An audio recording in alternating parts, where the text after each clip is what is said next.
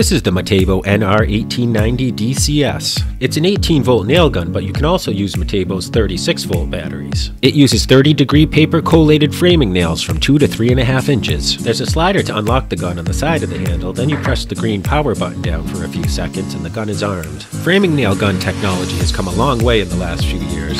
This thing is really fast and powerful. As you can hear, it only takes about a second for it to cycle up between shots. Its bump fire mode actually works and is quite useful. All in all, I would highly recommend this nail gun to any carpenter.